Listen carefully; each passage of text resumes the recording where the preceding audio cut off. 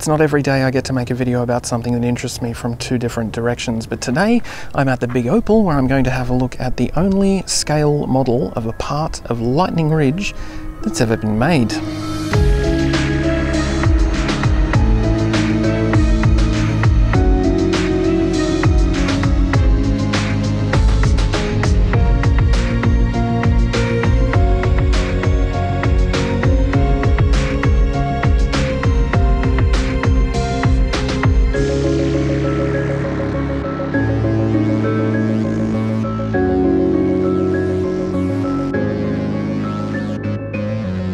The Big Opal is an underground mine experience in Lightning Ridge and it's home to this scale model of part of Opal Street built by a Lightning Ridge resident in the late 1960s.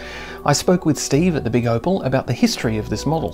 The first hardware store that was built in Lightning Ridge was in the 60s and one of the owners put in an Opal shop next door to their hardware store and built this model themselves and put it in their in their Opal shop. And when they sold out, they then sold it to another shop opposite the post office. This is, to my knowledge, the only scale model of part of Lightning Ridge. As far as I know, there's no other model. So here's the thing, this model is kind of a big deal to me for a few reasons. First up, I love scale models. I've built models of the Space Shuttle and the Millennium Falcon, and I absolutely love miniature versions of things. I find models really help me to wrap my head around things and they can be really tangible and comprehensible. It really helps me to understand something if I can see a miniature of it. Secondly, this specific model is one of my oldest memories of Lightning Ridge from when I was very young. Back in 1986, when we first moved to Lightning Ridge, I remember seeing this thing in Bob Bunker's Lightning Ridge Tourist Centre and staring at it for hours. Just for fun, here's a side-by-side -side comparison of the model built in the late 1960s and the row of buildings it represents as they stand in 2019. I asked Steve for a quick tour of the model and the buildings that are represented in it. The left hand end, it was a newsagent originally and then became the butcher.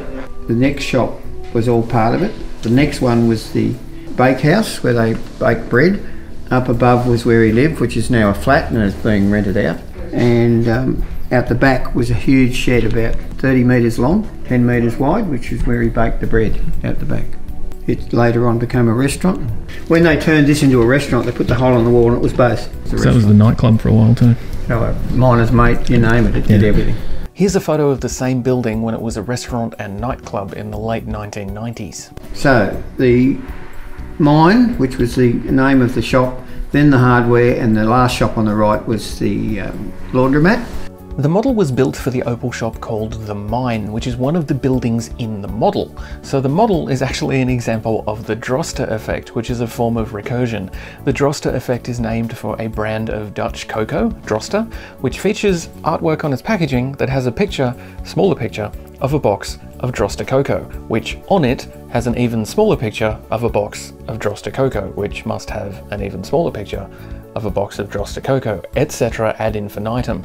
The model mine is similar, at least in concept, because the model of the Opal shop should, in theory, contain a model of this very model, which should contain an even smaller model of the model. On and on, into infinity. Of course, I was curious and I had to try to see if there was, in fact, a miniature version of the model visible inside the tiny version of the Opal shop. Is there a model of the model in the mine? I don't know. I don't. Have a look.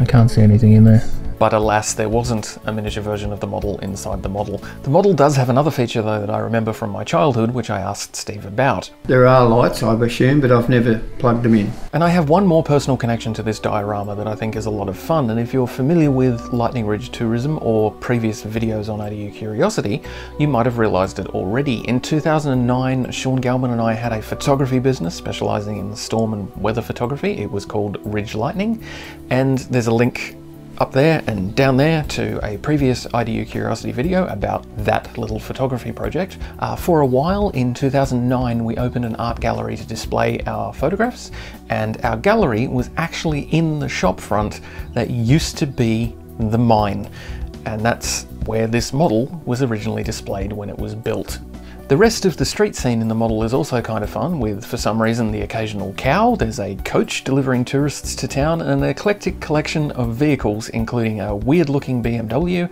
a strange Tonka truck with a gigantic piece of rough opal in the rear, and this really weird gold vehicle, which I've actually identified as a dinky toy of a car from the British TV series UFO. People have wanted to buy the cars out of it, which of course they won't sell. The model maker went to some trouble to include a few generations of mining equipment, including the hand-cranked windlass. That's your original way of mining, was to have about 10 buckets down the bottom with a hook on the bottom and then you just bring up one at a time. The motorised hoist. The hoist were invented in the 50s uh, which brought the dirt, dirt up. Representations of various methods of cleaning the opal dirt away from the opal itself. This is a dry rumbler.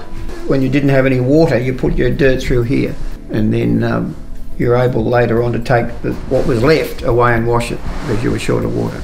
So they started off with dry rumbling, and then they went to puddler and then they went to cement mixer. And just when you think the Model Mine is awesome enough, it has one final amazing feature, a really detailed and pretty accurate underground mining scenario complete with geological strata and key features specific to opal formation. So you've got your faults, where the opal often forms, you've got your sandstone, different coloured sandstone, and then more sandstone, and then more clay level or mud level. Most of your opal is formed near a fault. I'm really impressed with the construction and paintwork on the underground part of the model. The different clay colours are spot on and the amount of information packed into such a small space is really quite amazing and the building techniques and quality of the details have held up incredibly well in the over half a century since this model was put together.